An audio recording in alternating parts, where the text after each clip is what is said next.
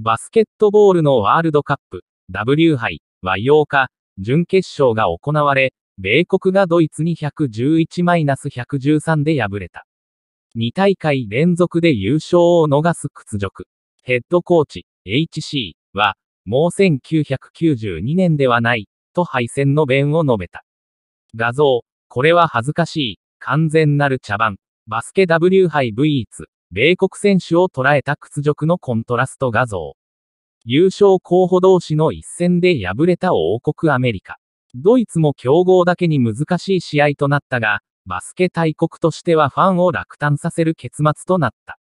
フィリピンメディア、ラプラー、公式 X、旧ツイッターは試合後の会見動画を公開。米国のスティーブ・カー HC 箱を語っている。ドイツを祝福したい。彼らは素晴らしかった。オフェンス面でビッグショットを決めていた。彼ら流行るべきことをやっていたよ。勇気を持って戦った我々の選手たちを誇りに思う。終盤では盛り返して逆転のチャンスを作った。ただ勝利には至らなかった。さらに、2大会連続で金メダルを逃したことが米国と世界のバスケ界にとってどんな意味を持つのかを問われた同 HC。過去30年間でバスケットボールは世界に広まった。こういった大会は難しいんだ。もう1992年ではない。